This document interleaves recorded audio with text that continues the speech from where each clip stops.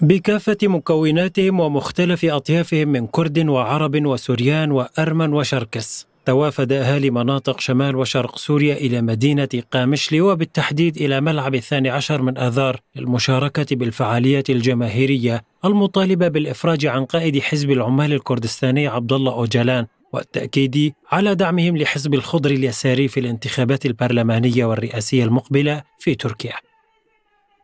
طبعا آه، هذه المسيرة وبنفس الوقت آه، تجمع جماهيري كبير على مستوى إقليم الجزيرة بشكل عام.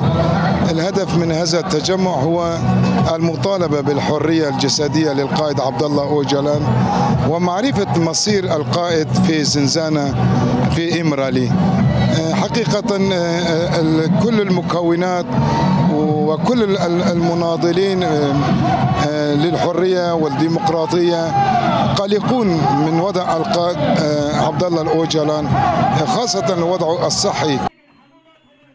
المشاركون في المسيره من كافة مناطق شمال وشرق سوريا عبروا عن دعمهم لحزب الخضر اليساري في الانتخابات البرلمانية والرئاسية في تركيا ودعم إرادة كافة الشعوب التواقه إلى الحرية.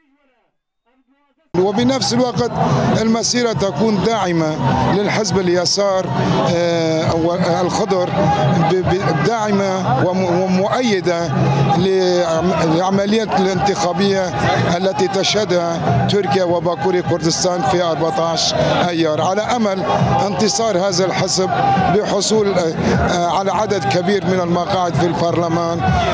أملا أنه آه، يسبب في في تغييرات جديدة وأحداث جديدة بتوجه تركيا نحو دوله ديمقراطيه أفضل ما تكون دولة فاشية معادية لإرادة الشعوب.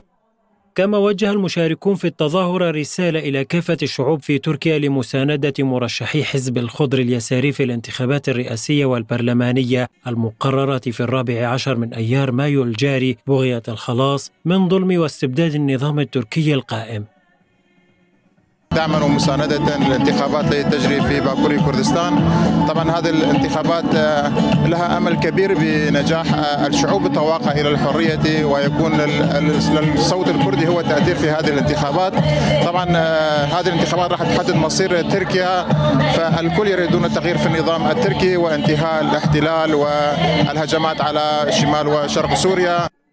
وشارك في المسيرة جميع أهالي مناطق شمال وشرق سوريا وأعضاء المؤسسات المدنية والأحزاب السياسية بالإضافة لحركات وتنظيمات المرأة إلى جانب شيوخ ووجهاء العشائر العربية والكردية في المنطقة.